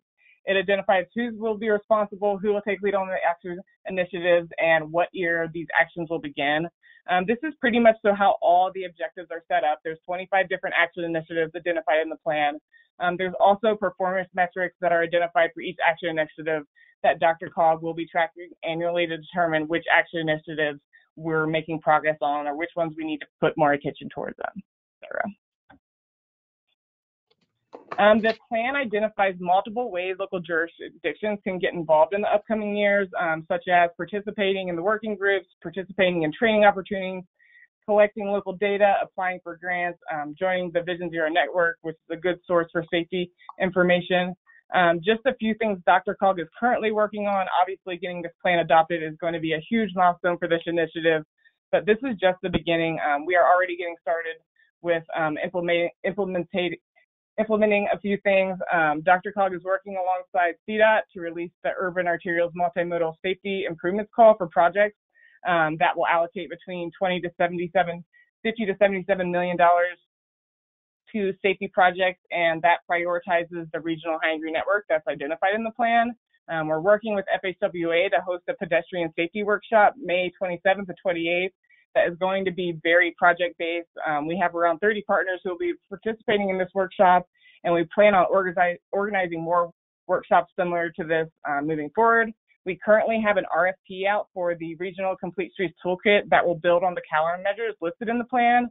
Um, I'm working on organizing the Regional Vision Zero Working Group. Um, we're hoping to have our first meeting for this sometime early next month. Um, I'm also working with our engagement specialist to establish a public education and engagement plan moving forward, um, which we will vet those ideas through the working group before any final plans are established for that. Um, so with that, Dr. DRCOG staff is asking the board to move to approve adoption of taking action on Regional Vision Zero with the caveat that staff revisit the issue of a specific target date in the 2050 MVRTP process. Um, with that, I'm happy to answer questions or take comments. Thank you, Ms. Dol- Doliboa.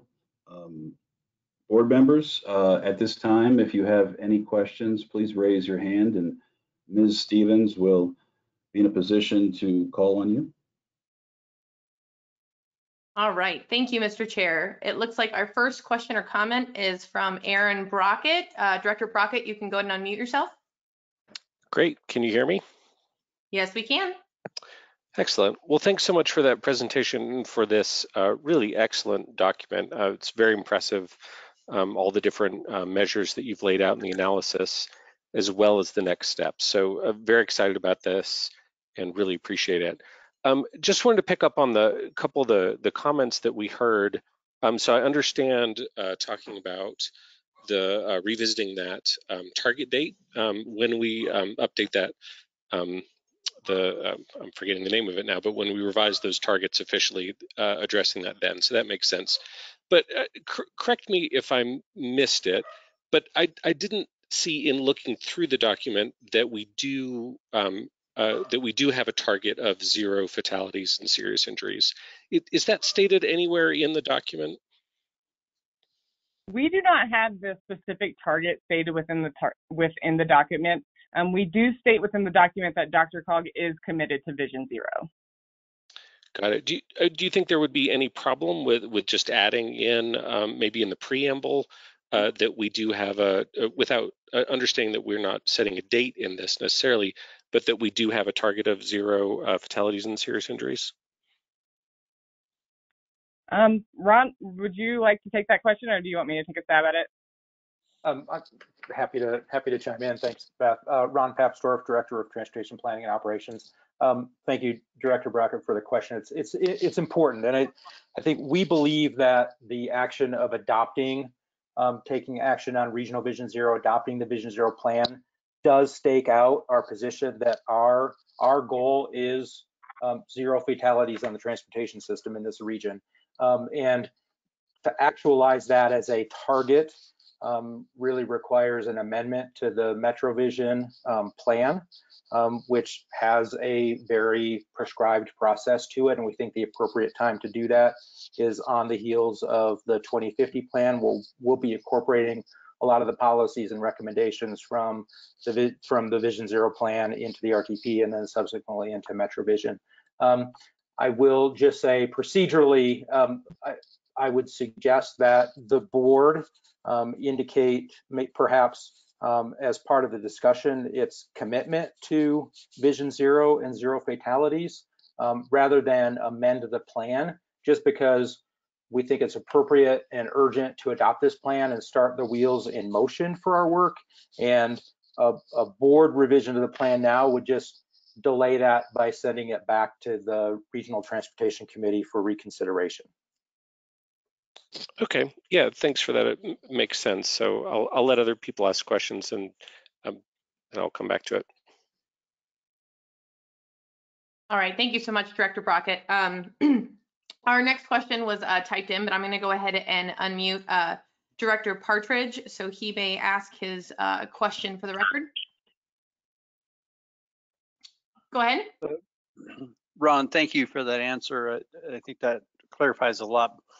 My particular question was is regarding if there was a zero target put in, or would that particular performance affect any funding formulas? It would, it would not affect any fun, funding, no. Great, thank you. All right, thank you so much, Director Partridge. Uh, it looks like our next question or comment will be from uh, Director Stolzman. You may go ahead and unmute yourself and make your comment or question. Thank you. I just, I'd like to just clarify um, with Director Papsdorf. I mean, it is the, it it is the Board of Directors prerogative to amend the plan if we would care to at this time. I'd just like to clarify that with you. That is absolutely correct.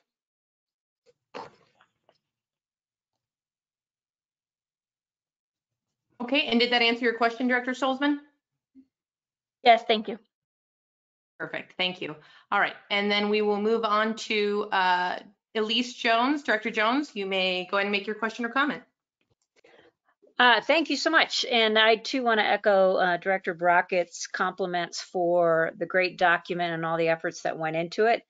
I do find myself among the folks, including um, the members of the public that testified so eloquently on feeling like the um, the document would be greatly improved by uh, explicitly stating that it's our goal to reach zero fatalities and setting a date for that. Because if we don't measure progress in a real clear way, we don't get there. And I hear DRCOG's staff saying, hey, we have to go through the MetroVision amendment process in order to amend that target. So I guess I'm trying to figure out what's the what's the compromise or balance there. So one, I have a question, which is under um, the staff's timeline. When would we get to the place of actually adopting a specific metric or considering adoption of a specific metro of zero fatalities and putting a date on that? And then second question on whether or not um, when we make a motion to adopt this plan, if we could include in the language of the motion, so it's somewhere there in writing, that it's our intention of adopting a, a, the goal of zero and um, looking at a target date through um, the MetroVision process. So two questions there. Um, for your first question, we're planning on adopting, adopting the 2050 MVRTP next spring, so it would be under a year. And as of now, it does state in the proposed motion that um, there is a caveat that staff will re revisit this specific target in the 2050 process. I don't see why we couldn't change that to better define what that target is. Thank you very much. That's helpful.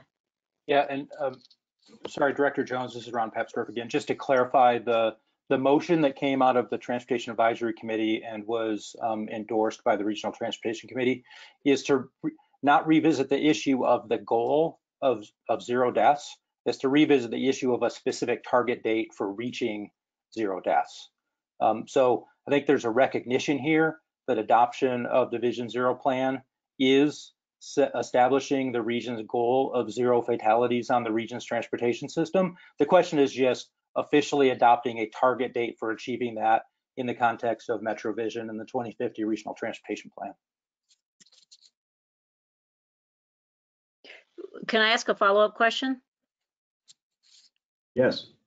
Um, I guess I, I I appreciate it that it's the staff's intention um, that the that the words of adopting the regional vision zero means that we're actually effectively adopting the goal. But I, I guess I use those words slightly differently.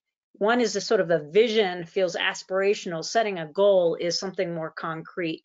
So I just I, I'm wondering if we can make that motion clear in a way that you'd feel comfortable with.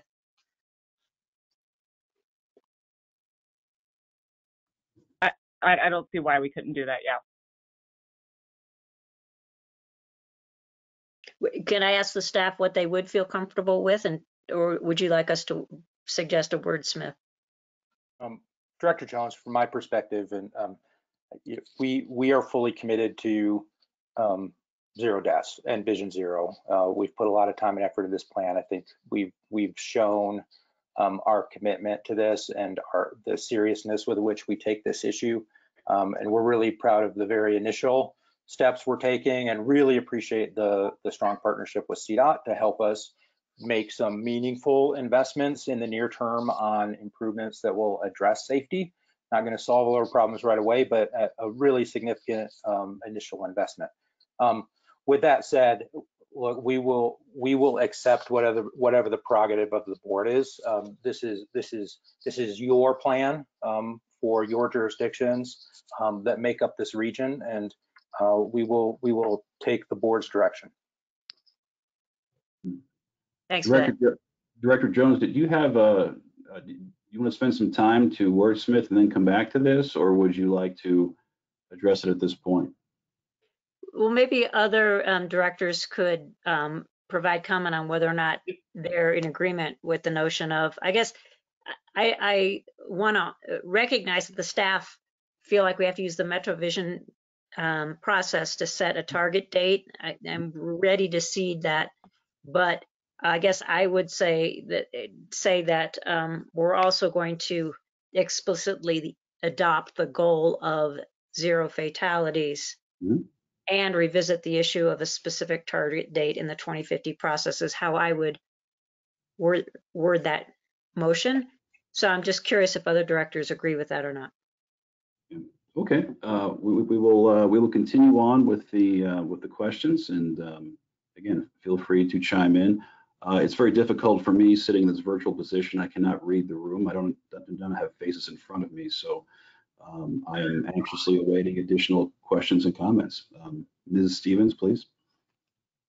Yes, thank you, Mr. Chair. Uh, it looks like our next comment or question would be from Director Stolzman. Uh, so you can go ahead and speak. Thank you. Uh, I just would say that I'm supportive of Director Brockett and Director Jones's proposal to include an explicit target of zero fatalities and put in a target date of 2050 or 2040 or something. And then when we go through the MetroVision process, we can update that as well. Um, I would, I'd like one clarification from staff. If we change the motion this evening, doesn't it also have to go back to RTC so that they approve the same motion that we approve? So whether we, whether we modify the motion or whether we modify the document, wouldn't it have to go back to RTC? Uh, Mr. Chair, Director Stoltzman, um, that's correct. Thank you. So I guess I would just as soon modify the document if we're going to send it back to RTC.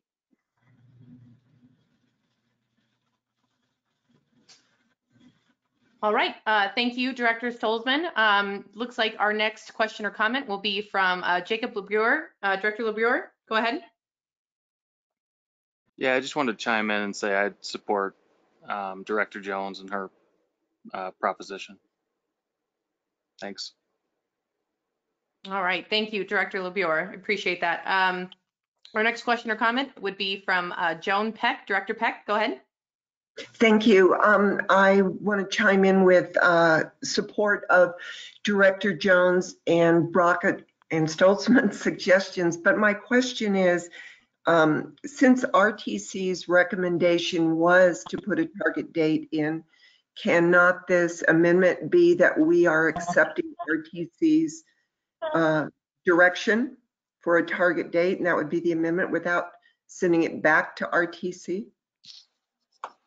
Um, Director Peck, this is Ron Papsdorf. I, the, the recommendation from the Transportation Advisory Committee and um, adopted by the Regional Transportation Committee actually was not to set a date. It was direction to staff to revisit the issue of establishing a specific date as part of the development of the 2050 RTP. Okay, I would be very much in favor of having uh, the target be zero deaths by, uh, since this is a 2050 plan by, by 2050. All right, thank you, Director Peck, for your comment. Um, It looks like we, uh, again, have an additional comment or question from Director Stolzman. Go ahead. I, I don't have another comment. My hand just wasn't put down. Sorry. No problem. Appreciate that. Uh, Then it looks like our uh, next question or comment would be from Director Brockett. Go ahead. Well, it, it sounds like comments are pretty much done, so I'm happy to offer up um, a motion to, for discussion if, if that's acceptable to the chair. Yes, um, please, Director Brockett. Okay, well, uh, since uh, uh, Director Stolzman pointed out that, that this would have to go back um, for additional approval re- regardless of whether we update the motion or the document, I thought I would suggest an alteration to the document. Um, so, and, and happy to have people, you know, correct uh, a little bit of language or what have you, but I'll go ahead and move that we approve the adoption of uh, the taking action on Regional Vision Zero um, with the caveat that staff revisit the issue of a specific target date in the 2050 process, as well as to uh, add a sentence to the what is Vision Zero section um, of the plan itself uh, to state that, um, uh, quote, uh, by adopting um, this plan, uh, DRCOG affirms a, a, target of zero uh, fatalities and serious injuries on our transportation system. Thank you, Director Brockett. Um, do we have a do we have a second? This is Director Olson. I would like to second that. Great. Okay. So let's open it up for discussion on the proposed motion in the second before we um, before we go. And, oh, yeah. Uh, Director Chair, could, could, if I could just make one just comment on that motion, just that um, hearing that the revision um, is coming up within the year, I'm fine with leaving the setting of the target date up to that process, but I thought it was worth uh, affirming the target of zero fatalities and, and, serious injuries within this plan itself. Okay. Um, I appreciate the, the additional uh, direction. Um, okay, so we have a we have a motion and a second uh, discussion on the motion. Ms. Stevens, is there anybody who is raising their hands? Uh, yes, thank you, Mr. Chair. It looks like um, Director Jones is raising her hand. Director Jones, go ahead.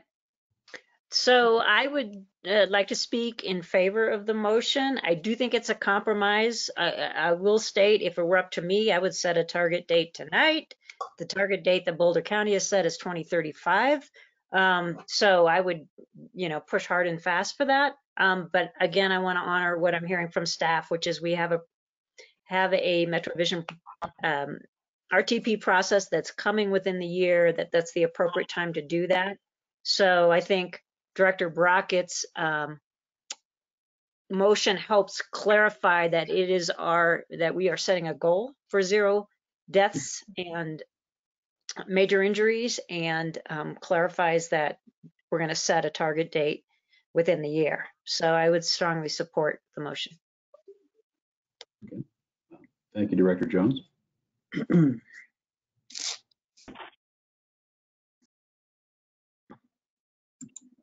Okay, it looks like um, our next question or comment would be from Director uh, Nicholas Williams. Director Williams.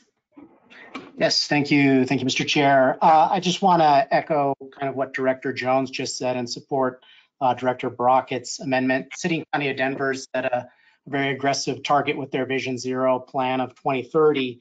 And I, I just do think it's critical to um, set that uh, goal of zero, making sure that's very clear, uh, making sure that we're moving towards that. And, and, you know, and I do agree with the conversation that, you know, if we're going to, to, to set that goal year by the end of the year through the RTP process, I think that's appropriate.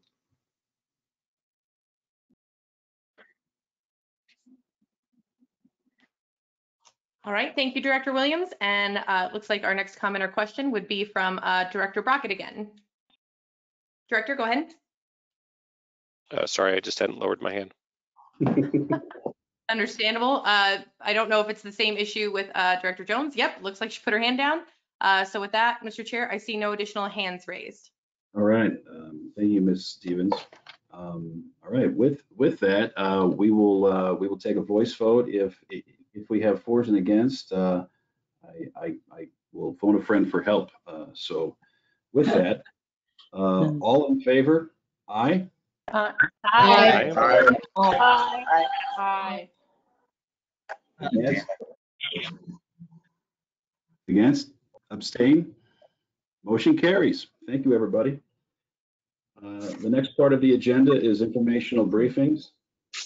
Uh, Item 10, MetroVision Performance Measures Annual Report. Uh, Andy, please, the floor is yours.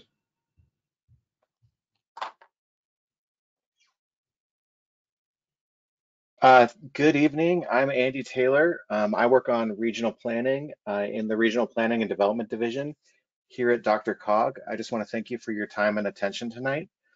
Uh, in much of our work, we focus on the region's plan, uh, MetroVision, uh, measuring and reporting on our progress towards the outcomes and the board adopted. The board adopted through that plan is also a key part of our work. Um, first, I just want to back up and look at where this falls on the strategic planning model that helps organize all the work we do here at DRCOG. It starts with the mission and vision. The same mission and vision that the board adopted a few years ago is the same mission and vision for MetroVision. Where MetroVision picks up is in the themes, outcomes, and objectives.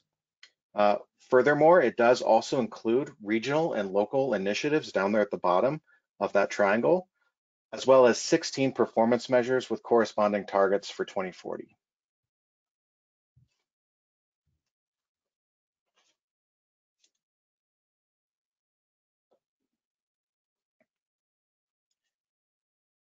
Uh, so uh, why did we include measures in the plan at all?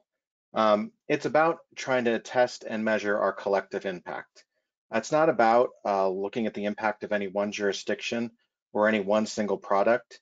Uh, it's about having a set of information that can start to show whether we're moving towards the desired outcomes uh, in MetroVision itself.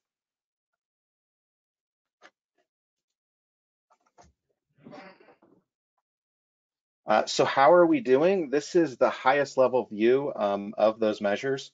Uh, we're on track or ahead of schedule on nine of the 16 measures to reach our target by 2040. Uh, we're behind schedule on six, and there's one that we have insufficient data since the baseline uh, to make any determination on status. For the sake of time, I'm going to step through information we've observed for one measure in each category. However, you can find similar information for all the measures in the slides attached to the memo. Uh, the slides do show numbers and charts, but have little explanation beyond what I'm sharing verbally tonight. Uh, but you can find more information on metrovision.drcog.org at the link on your screen if you want to explore further or share it with others you know might be curious about this information. Uh, first, I'll just step you through um, what some of these slides look like that I'm showing about the measures themselves. I've included this slide just to orient some of the information. at the top, you'll find the measure name or description. Uh, under that, you'll find the measure status, such as on track.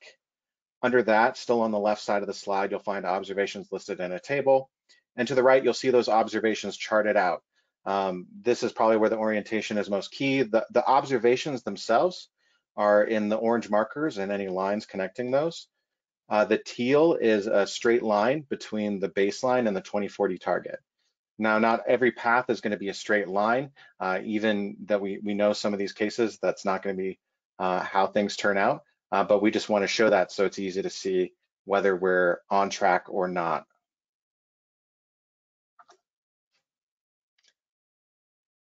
So uh, the first one I've got up here uh, is related to housing near high frequency or rapid transit. We're currently ahead of schedule to meet the 2040 target of having 20% of the region's housing near high frequency or rapid transit. You can see a big jump with the opening of the A line, the first stop on the B line, and the Flatiron Flyer in 2016.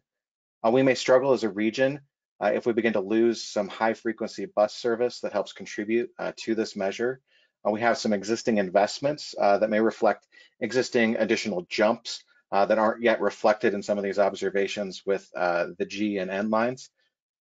But the opportunity to remain on track may, but the opportunity to remain on track may be to add more housing in areas that remain with a strong level of transit access. Uh, we're on track to meet the 2040 target of having 45% of the region's employment near high frequency or rapid transit.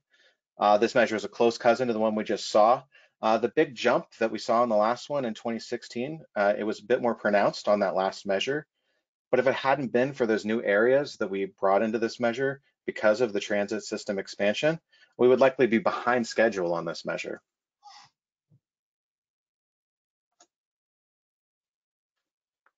Uh, it bears repeating that we're behind schedule to make progress towards our MetroVision target related to fatalities. Um, we've already heard a lot about it in the last item um, tonight. Uh, but unlike some of our um, other measures, we have a long uh, time series to look back on. Uh, when we adopted our target in 2017, it represented a much steeper decline than the long-term trend uh, suggested. However, since that time, our region has moved uh, in the opposite direction.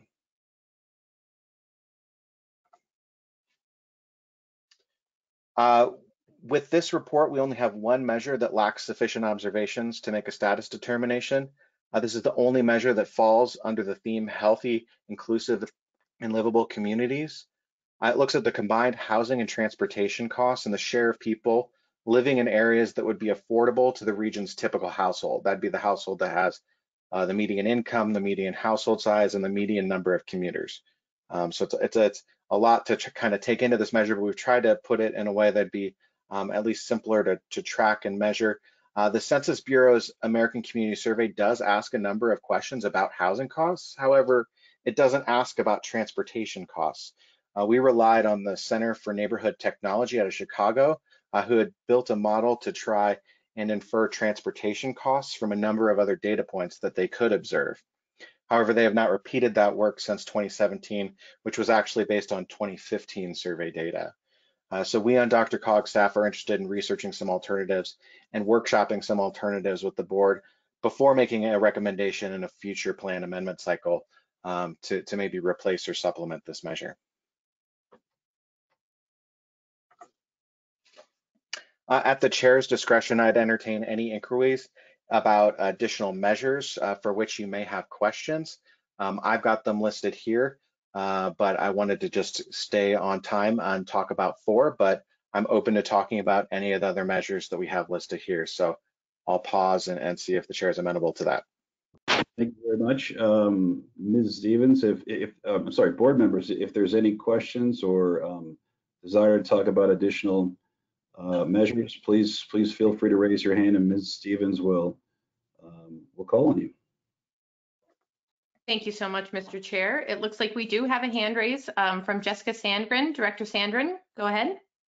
Thank you. Um, thanks for the presentation. It looks like the majority of data collected on there is back from 2018. Is that correct? Uh, that that is correct. And so when is the next data collection uh, for 2019? What will that look like, I guess? When will you add that in? Uh, so the, the, the last set of data that we receive uh, for a couple of our measures comes in uh, December of the following year.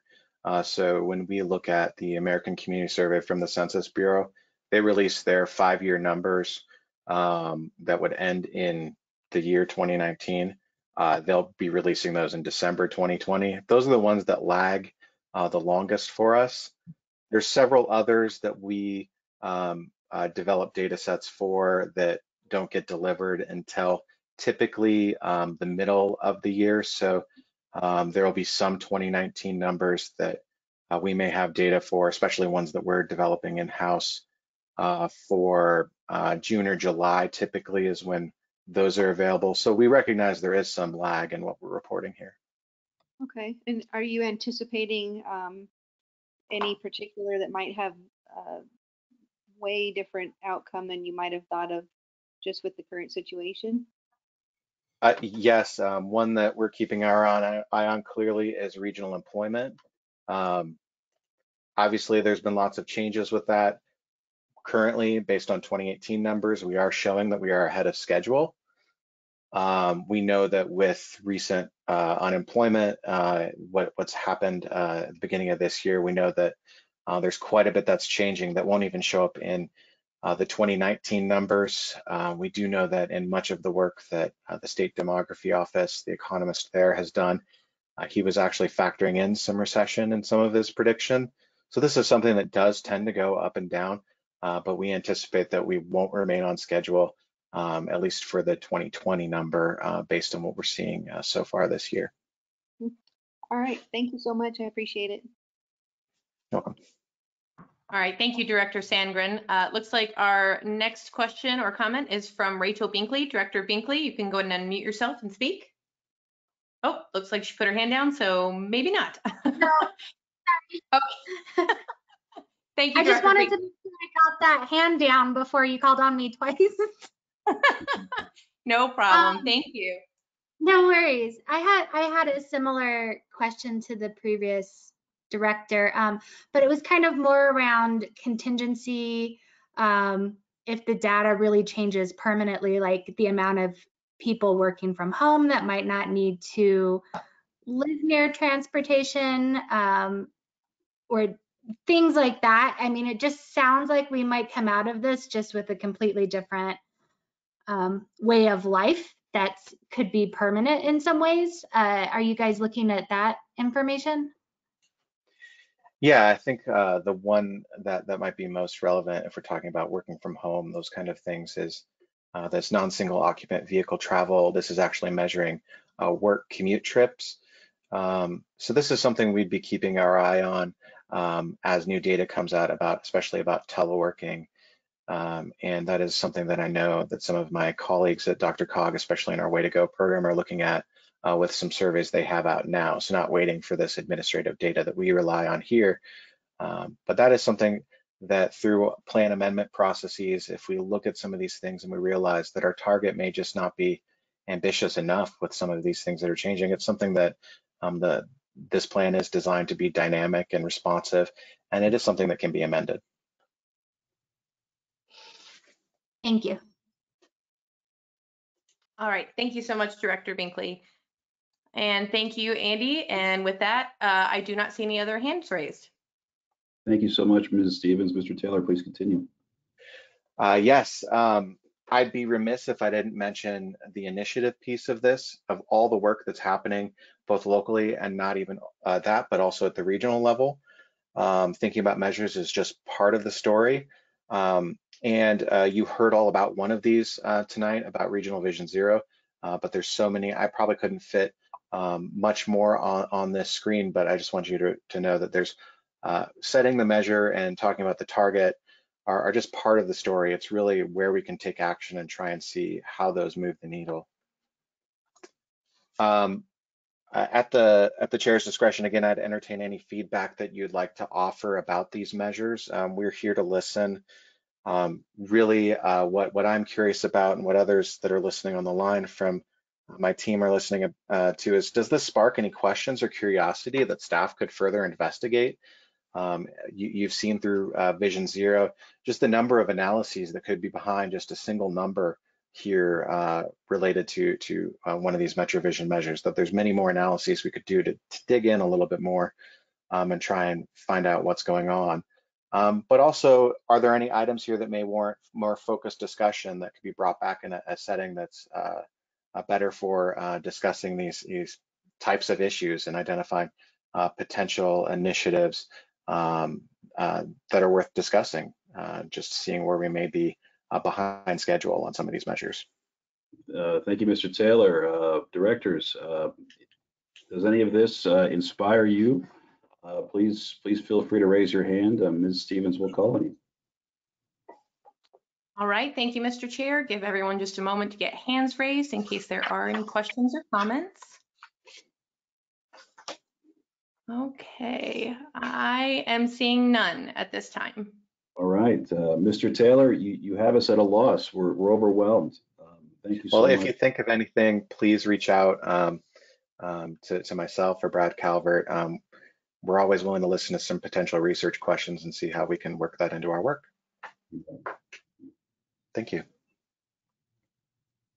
Is that all, Mr. Taylor? Yes, that is it. Thank you so much for your presentation. Truly appreciate it. The, uh, the next item um, is item 11, proposed technical amendments to the 2040 MetroVision Regional Transportation Plan. Mr. Riger. Thank you, Mr. Chair. Good evening, everyone. Uh, Jacob Riger, Manager of Long Range Transportation Planning here at DRCOG. Um, this is just a really brief item, really just a transparency item that we just wanted to bring to your attention. Um, as you've heard tonight, we're in the midst of creating our, developing our 2050 MetroVision Regional Transportation Plan. So we weren't planning on any additional amendments to our adopted 2040 uh, Regional Transportation Plan. However, in the course of some routine uh, stakeholder coordination with the E470 Public Highway Authority, it did come to our attention that one of their projects uh, is going to open sooner uh, than was originally anticipated. Um, that's good news. Um, that project is in our plan already, in our 2040 plan. It's the main line widening of E470 from 46 lanes uh, from Quincy Avenue up to I-70. So as I said, that project is already in our existing 2040 uh, adopted plan.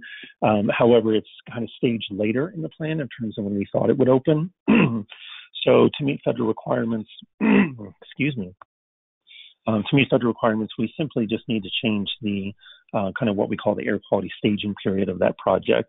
Uh, nothing else about the plan or the project.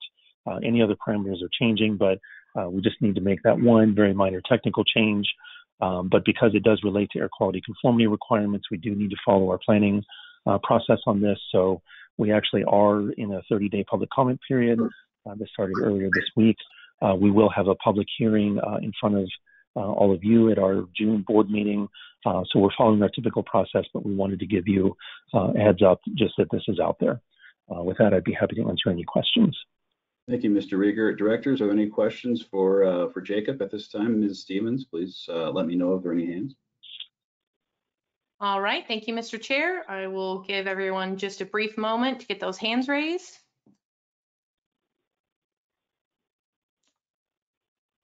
Okay, and at this time, I am seeing none.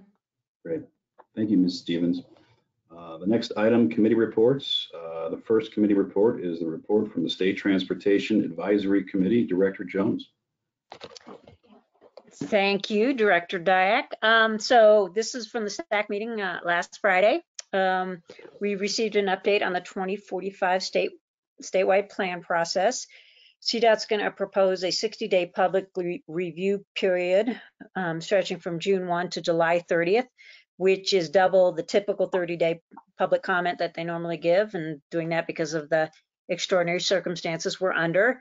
And the plan is for STAC to review and hopefully uh, recommend approval to the Transportation Commission of that plan in August. Uh, the STAC voted unanimously to affirm the 10-year strategic pipeline of projects list um, CDOT wants to use this quote as their North Star document. So as funding becomes available, they'll just pull projects off that list. And then the biggest part of the meeting, as you might have guessed, is uh, looking at the state budget and how it's supposed to um, impact projects, transportation projects. CDOT's anticipating revenue reductions and cost reductions from the general fund of more than 250 million over the next couple of fiscal years. And also that years three and four of the Senate Bill 267 funds are not likely to happen. So this is going to cause a disproportionate impact on the metro region as well as some other areas. So um, CDOT's looking at that and um, it, the plan for the second tranche of uh, Senate Bill 267 funds is to, there's about $125 million left after um, they pay out for projects that are already committed. And they would, they propose that we spend 50 million of that for the I-25 North segments seven and eight, and then focus the rest on restoring regional equity, which means increasing um, funds available to regions one, two, and three, which are below the equity targets. So that translates into $21 million to Region 1 for the Urban Arterial Safety Improvement Program. So there was support for that. So that was positive for our region. So I'll stop there. Those were the meeting highlights. Thank you, Director Jones. Uh, The next report out is a report from the Metro Mayor's Caucus, Director Atchison. Thank you, Mr. Chair. Uh, The Metro Mayors has continued weekly meetings since back in March in regards to COVID impacts that we are all seeing. Those meetings will continue until such time as we don't need them anymore. We have a meeting scheduled tomorrow with the governor. Uh, He will be talking, we believe, about what his plans are for next week as far as openings up more businesses within the state. Also, Mayor Hancock and CDPHE will be holding a press conference on Friday on the city and county of Denver and what their plans are for reopening. At this point, we are continuing to monitor the, uh, the health of our communities and uh, working as much as we can with the state, CDPHE, and our local health departments to keep as many businesses open as possible. That's our report, sir. Thank you, Director Atchison. The next report out is the report from the Metro Area County Commissioners, Director Partridge. Thank you, Mr. Chair, and we did not have a meeting, so there's no report. Thank you very much, Director Partridge. Uh, The next report out is a report from the Advisory Committee on Aging, uh, Ms. Sanchez Warren.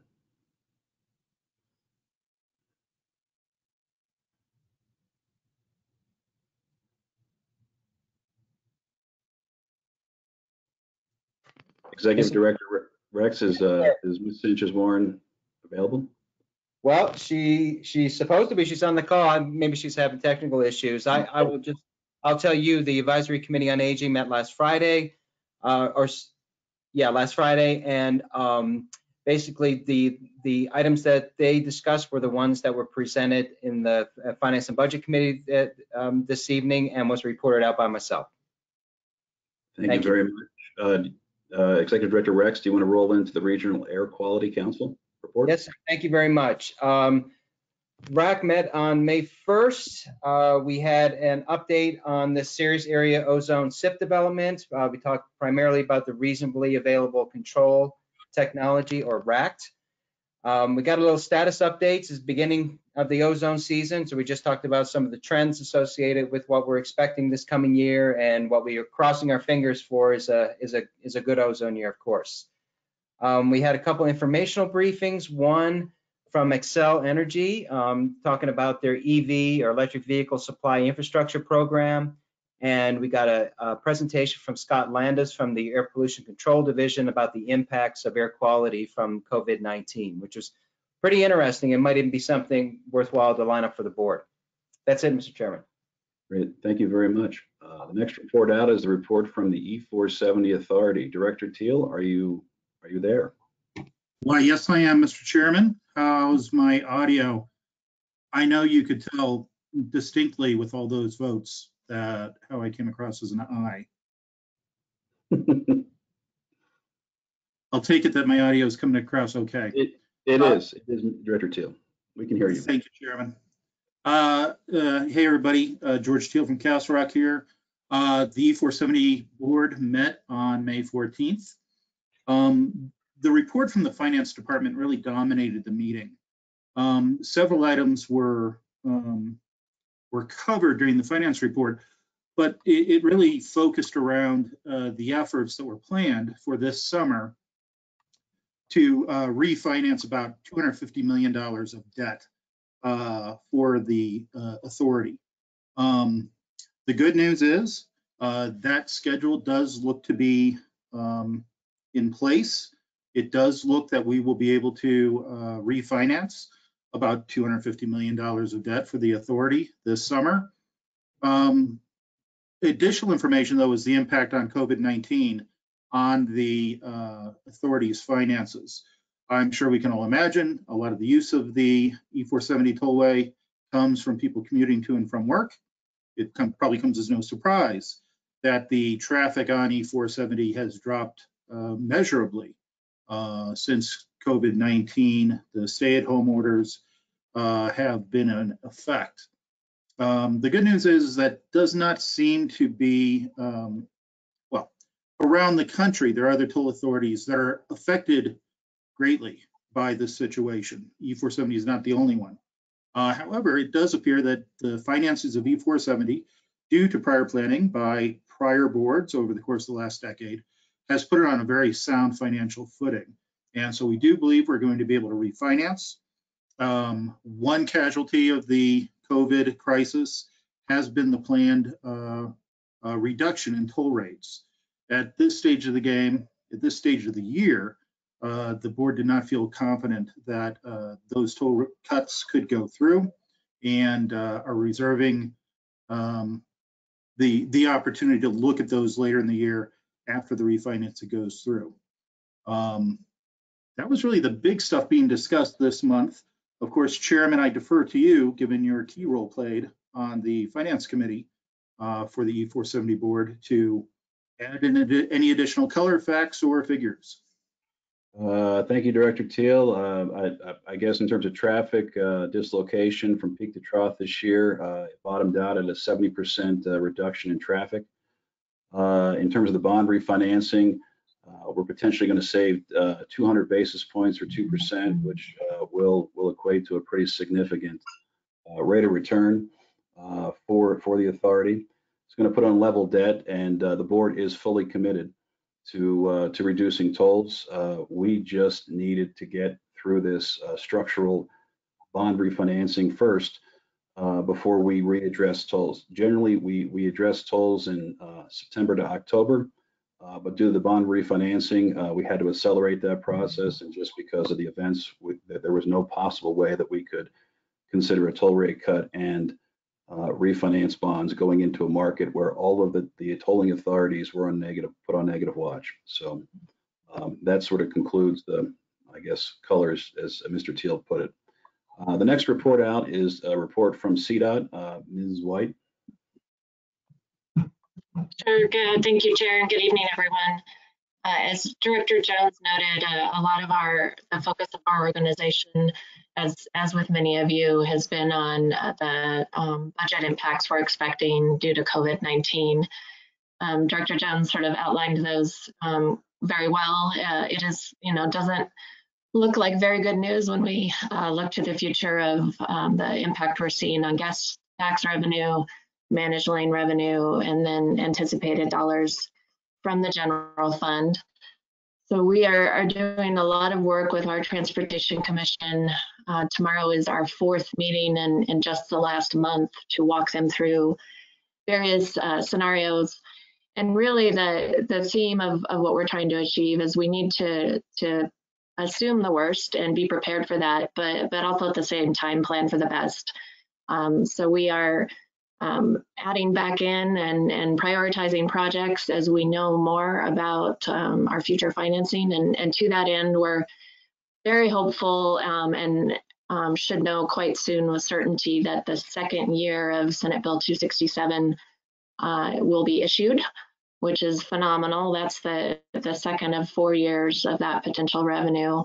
And so the commission will be taking a look at, at the full range of projects that they want to move forward with that tranche and then we will um, move, we'll take it from there and um, see uh, what more we learn from this uh, financial impact and how we can best get dollars into the economy and, and keep moving forward. Um, but on a more positive note, one of the, the projects we are moving forward with the commission and hope to have a positive outcome tomorrow is our partnership with DRCOG on the urban arterials. Uh, that's uh, coming up a couple different places with the commission tomorrow and, and hopefully we have a good outcome and, and can uh, move forward with you all to hopefully make a really big difference in the safety in our metro area.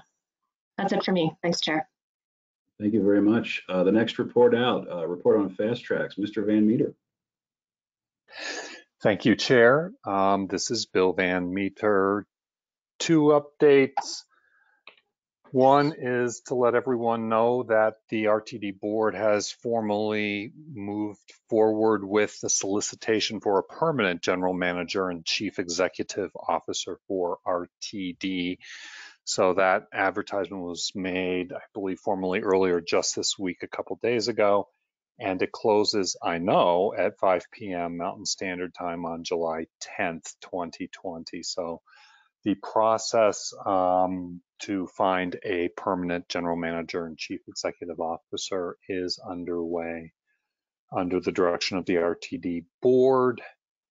And uh, the other item that I wanted to just provide a real brief update, I touched upon it last month, but is RTD's budget scenarios um, given the fallout from the COVID-19 impacts. And our budget scenarios were reviewed with our board of directors, an updated set of scenarios uh, just Tuesday night by our CFO, Heather McKillop.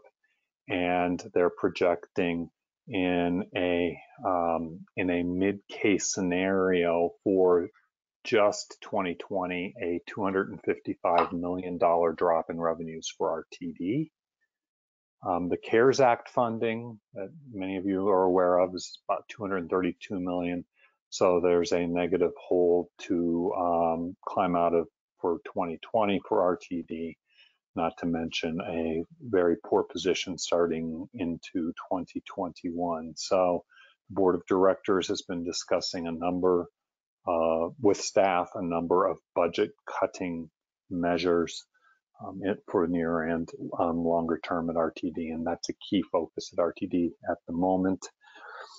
The next FasTracks, um, well, planning capital programs and FasTracks committee meeting of the RTD board is scheduled for June 2nd. So I'll have more information um, specifically pertaining to FasTracks based on the results of that scheduled committee meeting. There was none this month, and that, Chair and members, completes my update. Thank you.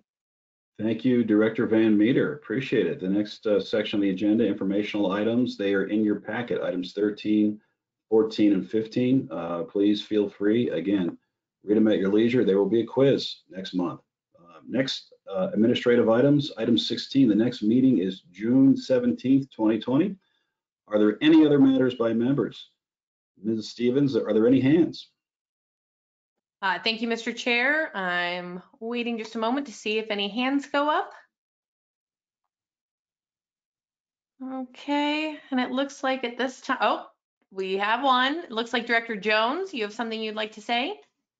Oh, I just had a question. Will there be a work session on the first week of June? If our next meeting is June 17th, is that just the next board meeting or is that the next DRCOG member related meeting? Executive Director Rex, would you like to address that?